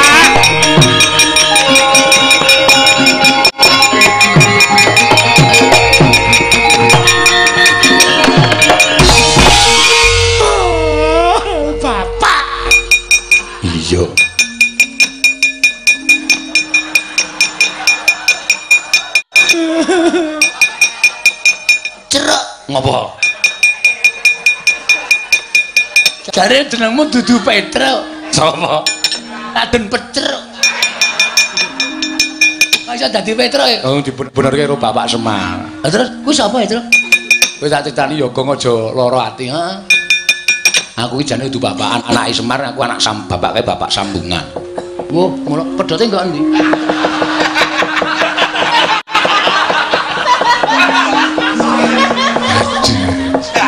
Maksudnya bapak sambungan ki aku ki mbiyen dopeni karo bapak. Tegese bapak angkat ki nek carane Jawa bapak sambungan. Mengkono. Heeh. Ha iki Iki bapakku asli. mosok Heeh. Bapakku asli mbiyen bangsaning Jim saiki dadi dewa. Wah, bajigur iki. Kowe anak dewa e. Heeh. Ya nyun ngapura, Gong. Lah terus aku Kowe iki mung saka ayang-ayangane Semar. Bapakmu ya ora ana, mbokmu ya ora ana, dumadi saka ayang-ayangane Semar. Sing nyipta mbiyen ya Iwang Pikulun Spada Wewenang utawa Iwang Pikulun Asih Prana. Oh, tepung aku naruh asih. Asih Prana. Ma Marse apa asih? Nek Marse tepung aku klawer to. Udu, udu. Bagong kowe aja lara ati apan aku bapakne Petruk. Aku Begawan Solontara. Saiki ngalih jeneng Gandharwa Raja Bali. Wela, ora tau pulang. Iya. Gandharwa Raja Bali iki jeneng kok ora tau pulang, ora tau pulang. Matur suwun Pak sampean pun ngerti kali penangisi ati kula. Petruk, Nah, kaya aja wedi, kaya aja kowe leren nggonmu njaluk sekar. Belum pertangga jiwa jambu dipa Lan gaja rumangsa ki jenan ning kayangan. Ingkang sejatine gegayuhane bapakmu mau becik ya mung Iwang Pikulun Jatimurti sing kesasapan tumindak sing ora prayoga. Yen ana dewa sing arep gendhak sikara karo tak singkirke aja melu-melu.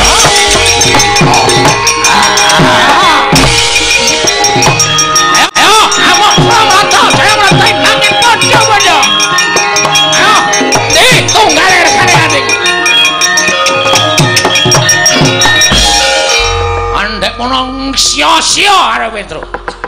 Ayo kene kene ayo. Ayo kene 3000 entuk anduk. Rumangsane nyepelek karo kawan Petruk. Gleleng. Temu bapakne. Iya iya iya iya.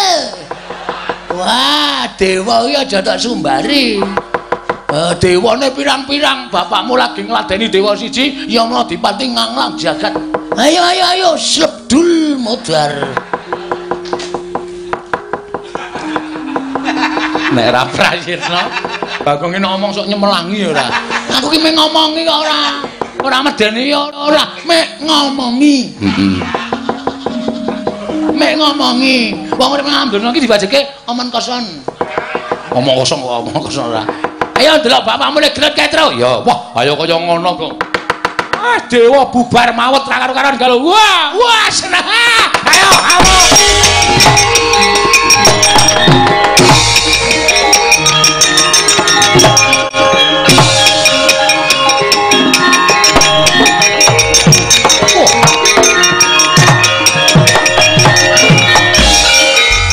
Gandarwa Raja Bali Salantara. Nggih, pukulun kula ingkang abdi. Ngamuk punggung Suratantaha Nirbaya Nirwikara. Sinten tiyangipun nggih mboten ngertos bilih Petruk inggih Petruk menika anak kula. Namung dipun mong dening Semar Badranaya. Sinten ingkang badhe kendhak sikara dhateng anak kula. Kula mboten mentala nyumurupi penangisipun anak kula. Kita ngewangiat mojo kita bakal gedhe walate sarta kita bakal ulun katutake dosane nyuwun pangapunten menawi kula wantun kalian panjenengan.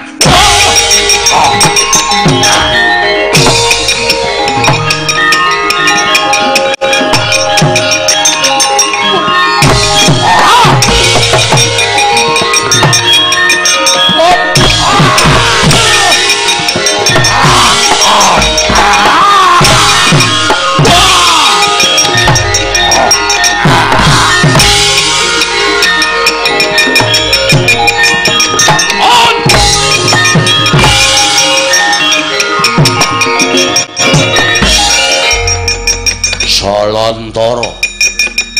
Pukulun Yama Dipati ya. Kowe ngorak-arik para dewa. Ora minggal jebol nyawamu. Mongso bisa ngrawet tinjung akhirat nyawamu. Monggo Ratri Medjaya dateng pun Bandarwara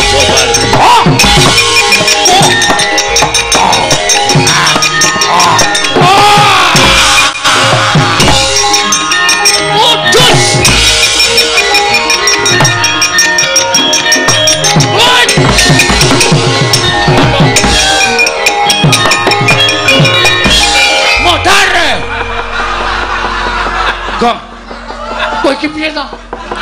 Kok iso? Tok jupuk nyawane, lak pejet kala mendinge. Lah sebabe bapakmu dijabuk nyawane, to? Apa nglekar kaya apa? Ning wis iso tangi meneh. Oh ya syukur. Ya mau dipati iki? Piye iki? Nyawane nendi? Aku ora weruh. e. Ngene nganti ora ana, kowe dukani Wangkulun Bathara Guru. Mati tenan mau mengecak-ecak iki. Aku ya ora iso njabut nyawa kok gek mengecak-ecak. Ayo wong tok tak jambak tak pejet kala menjinge kan. Ngrek mudar. Ayo lah. Urip kok. Anget tak, Truk? Heeh.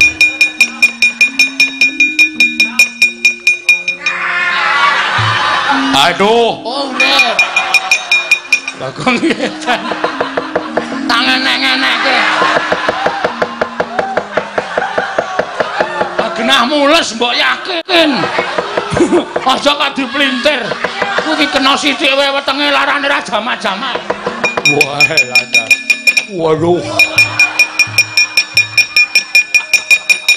Bagong wong andel. Wah, latar. Kena setute larane raja.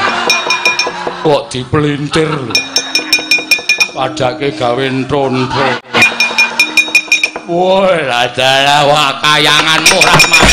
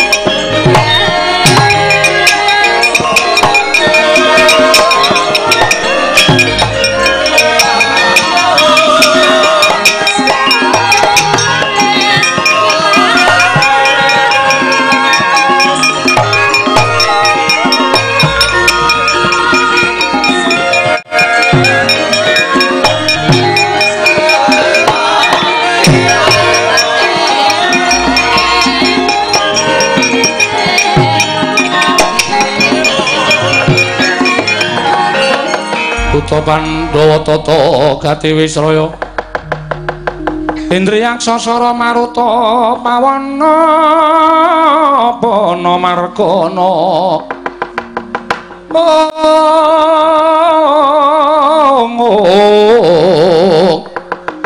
Samirana lan warayang wisikan magulingan limo. Oh kencang warudaya mak mak pong mak mak pong bu bolong kali cedhe sapa sing gawe Gandara Raja Bali wonten dawuh pukulun Lah kok dadi kowe mbelani karo Petro? Heeh. Mm -mm. Akeh sangjaning para Jawata Widodara Widodari padha nungsang kuyang numbuk bentus. Padha golek papan pendelikan awit wedi kelawan pengamu ing Salantara. Iya. Manah kula namung boten mentala kula mireng dhateng penanging penangisipun anak kula pun Petro. Anggenipun dipun sikara dening para dewa wekasan kula kedah mandhap lan belani dhateng anak kula. Ya, bener. Sing jeneng arep netangi kamurkaning wong lanang kuwi siji rusuhana bandane, angka loro rusuhana bojone, angka telu rusuhana anake. Wis bakal mungkap.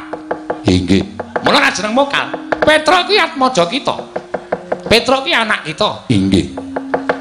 Petra kuwi anakmu, mula ora jeneng mokal yen kita mbailani karo Petra Kantambaleng. Ya mong ngene ya.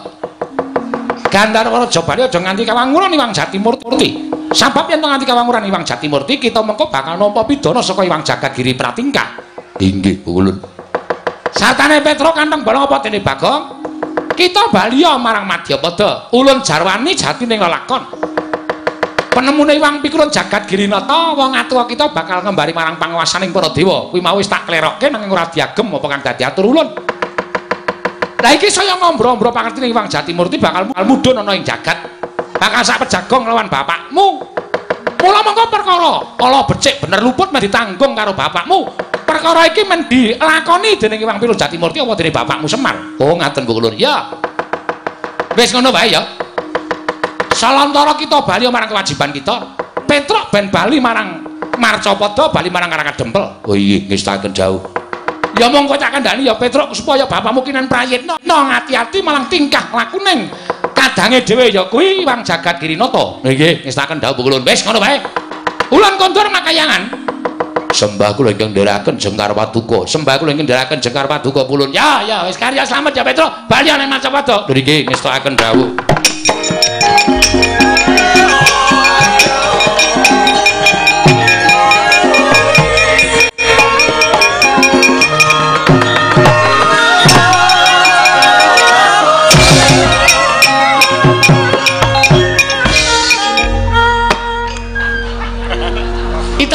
Gawe geger ngapa ta?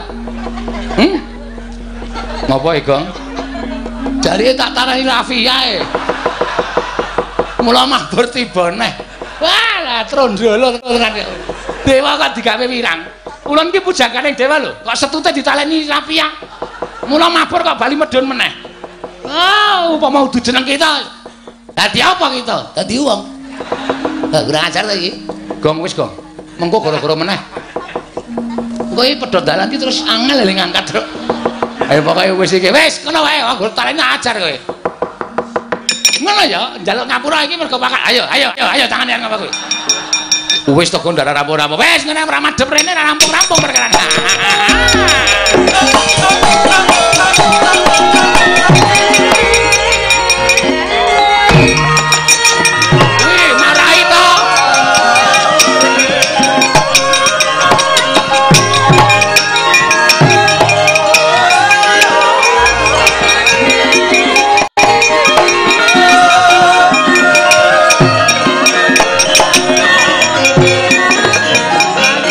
Putra Pandhawa tata gati Wisraya.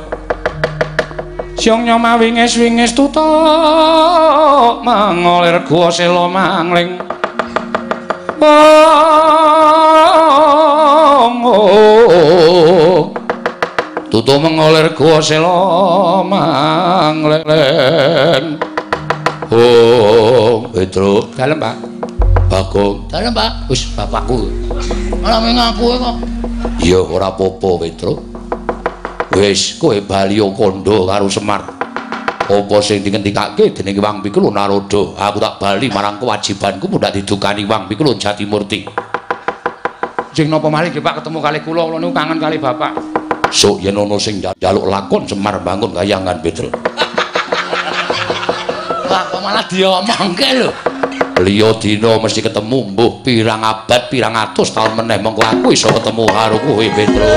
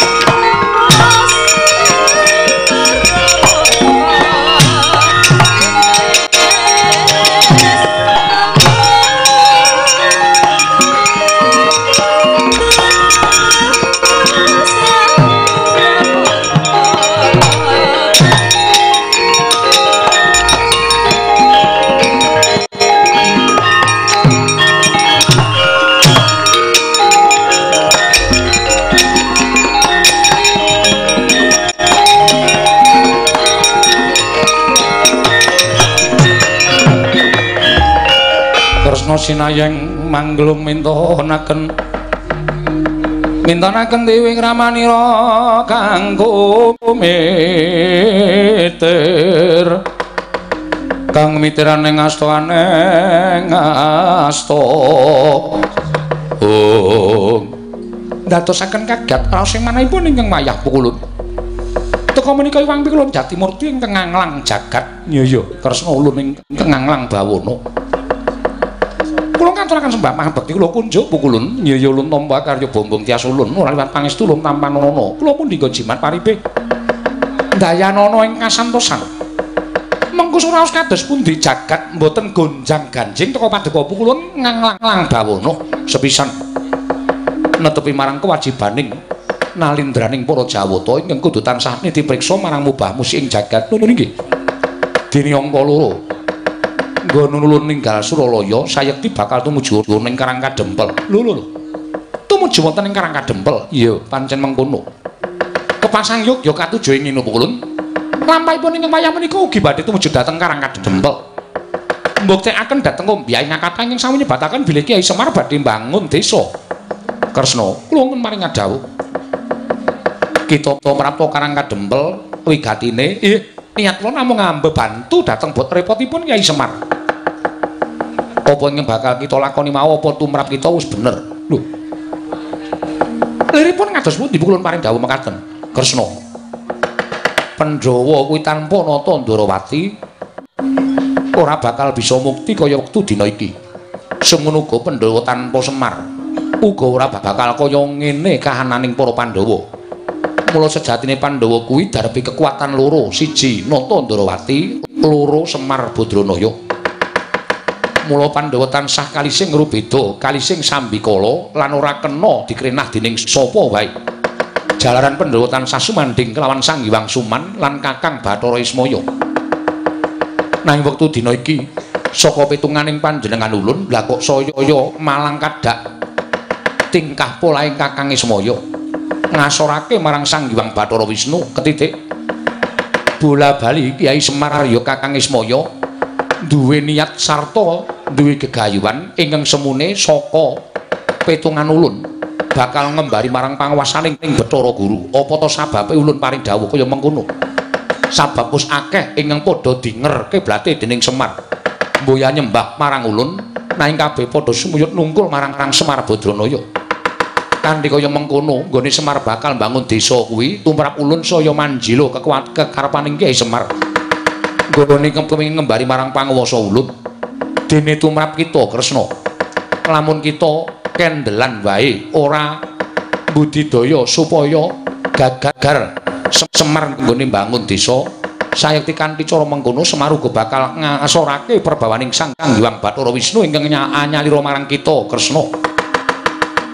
Lamun saya suwe saya sewi saya menjila kekuataning Ismaya tan wurunga Pandhawa saya sumuyut marang Ismaya ing kono Wisnu bakal ditinggal dening para Pandhawa. Yen Wisnu ditinggal dening para Pandhawa banjur apa kewajibaning Wisnu? Tan ana liya kejaba mung maranata jagat mongko kita maranata jagat andum katetreman ingkang minangka dadi cucuking jemparing sararta lakune ya para Pandhawa. Yen Kresna kelangan para Pandhawa bebasan sarah mungguing lautan wastra lungset ing sampiran ora ana gunane apa-apa nata Ndrawati.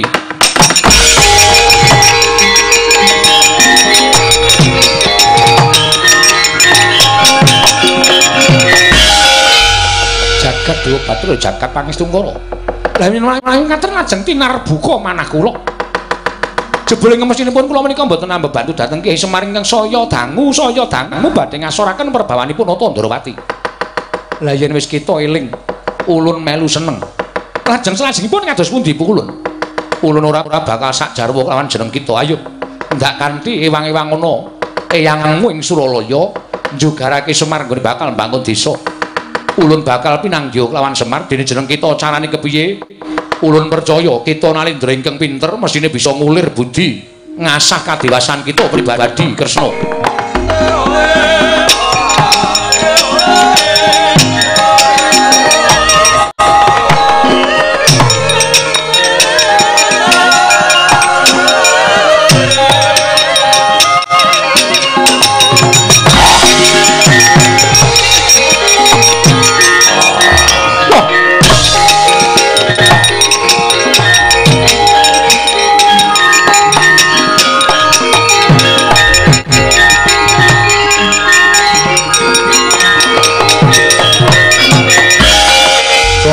ringah jonggo ringe. Tutuk mengolir kuasela manglen.